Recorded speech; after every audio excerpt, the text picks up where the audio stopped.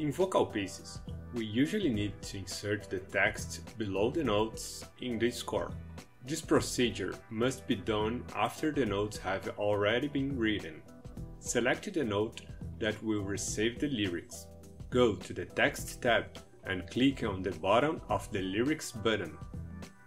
Some options are listed. The most common function when using lyrics is the Lyrics Line 1 option. This function can also be activated by simply clicking on the top of the Lyrics button or using the shortcut Ctrl L. A cursor will be flashing below the selected note. Start writing. To divide words into syllables, use the hyphen key. The cursor automatically moves to the next note. If you wanna write another word, press space. If the note has a type, continue typing hyphen or space, depending on the case, to go to the next note. Continue writing.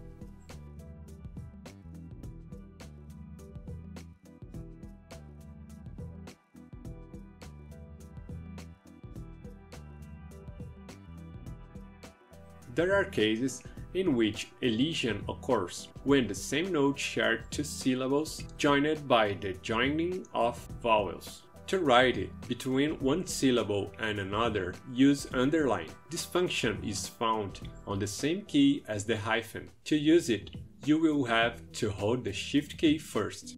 Write the second syllable of elision. If you have any case that needs to put two syllables in the same note, but you don't want to use the elision feature, use Ctrl plus space key.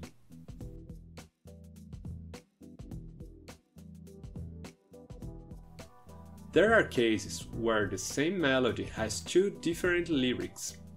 To write the second lyric, select the desired note, go to the Text tab click on the bottom of the Lyrics button and choose the Lyrics Line 2 option, or simply use the shortcut Ctrl Alt L. Continue writing the second letter.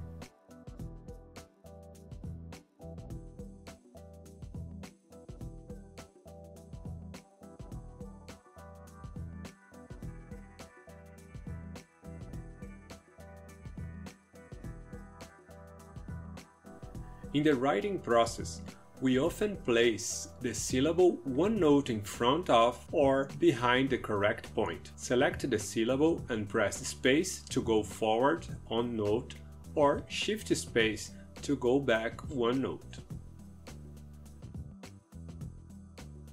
If you need to, Sibelius allows you to write up to 5 different lyrics lines.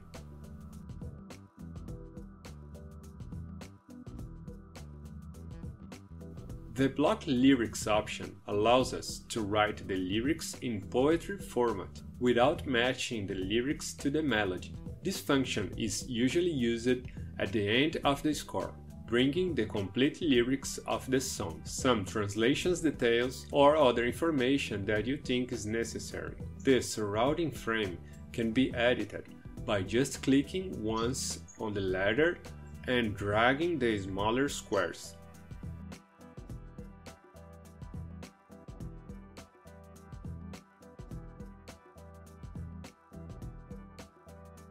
All text parameters can be edited at the top left of the Text tab. Good job to everyone!